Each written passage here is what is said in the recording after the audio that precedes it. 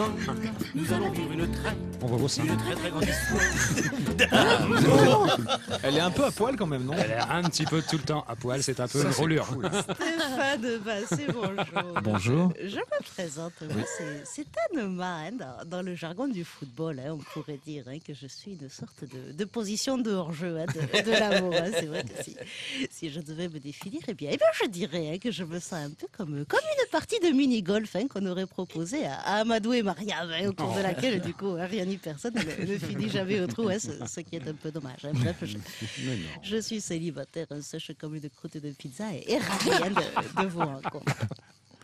Et d'autant plus ravie hein, que, bah, que même si physiquement, hein, du fait de, de ce petit côté gendre idéal hein, que vous donne aussi bien vo- votre absence de calvitie que, que votre regard aussi doux que rien, eh bien, eh bien vous êtes du coup une sorte de mix entre ce, chanteur français au- aussi talentueux que, bah, que quasiment à fond de- depuis le début de sa carrière. Je parle bien évidemment du, du charmant Étienne Dao et, et la version aussi maraquée que cérébrée hein, de ce sportif aussi à l'aise sur un vélo que, que sous Hein, qui, est, qui est le sympathique et, et désormais retraité Richard Vire. Bien, Moi, moi, cool, déjà. mais eh bon. ben, oui, on peut pas être toujours Non, sympa. peut Eh bien, eh bien, malgré ce, ce physique hein, de, de jeune dernier, dirons-nous, c'est c'est quand même pas tous les jours hein, qu'on a la chance de rencontrer un journaliste, producteur, DJ et animateur de talent, qui, ben, qui après avoir débuté sa carrière en 87, hein, ce, ce qui ne nous rajeunit pas, hein, sur- 1887. sur la célèbre station Iguanodon, la, la radio des, des scouts Des de scouts France. de France, Oui, exactement. Puis dès 91, sur, sur 8 FM, hein, la, la radio number one sur, le bassin d'Arcachon, eh bien, eh bien, n'a pas hésité dès, dès 96 à jouer à la carte de l'expansion, en devenant pendant quatre longues années le, le présentateur hein, du, du 12-13 culturel sur France 3 Aquitaine. Bref, Culturel, oui, culturel. oui. Bref, une exposition médiatique de, de proximité hein, qui, qui ne vous a cela dit pas empêché de, de venir tenter votre, une carrière d'animateur à Paris, hein, puisqu'après avoir raté de peu le, le casting du, du juste prix, eh bien, eh bien TF1 vous a fait l'honneur immense hein, de, de vous confier hein, Immense. du de, de vos 26 ans à l'époque hein, la, la présentation du, du célèbre jeu Tac au Tac TV. Merveilleux.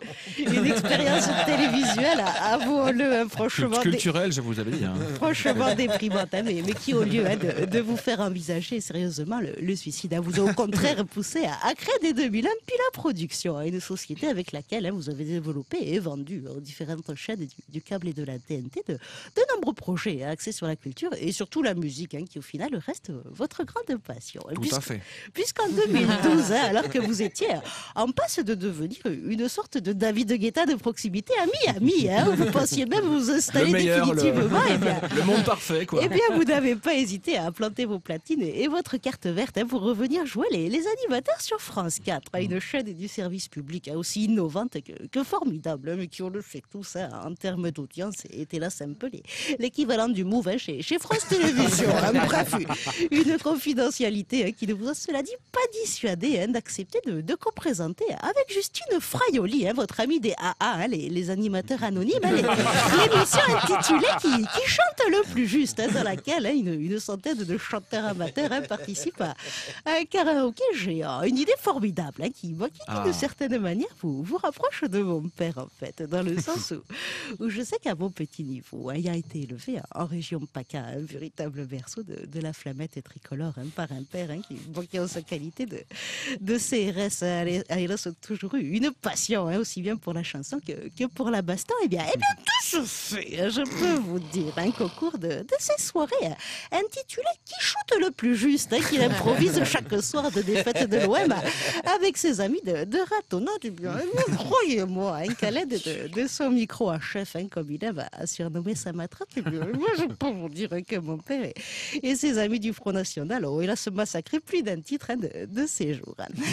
Et en parlant de, de prendre cher, justement, sachez que si le petit-fils de l'inventeur de l'interrupteur va-et-vient qui est en vous n'a pas peur, hein, le, temps d'une soirée, de, de brancher une femme hein, aussi consentante que, que Vergeturé, eh bien, je vous dire hein, que, que ma prise femelle de l'amour et moi-même hein, serait absolument ravi à l'idée de, de pouvoir prendre un petit coup de jus. hein, si vous voulez, de- Toutes ces petites confidences, hein, je, je vous laisse réfléchir à, à ma proposition en attendant. Et sachez qu'après l'émission, eh bien, eh bien, fin de la trêve hivernale oblige. hein, J'irai tenter ma chance avec les clodos hein, de, de la station Bonne Nouvelle. hein. Donc aussi comme moi, le, le logement vacant de l'amour qui est en vous, donc un souhait finalement celui de, bah, de se faire enfin squatter, comme on dit.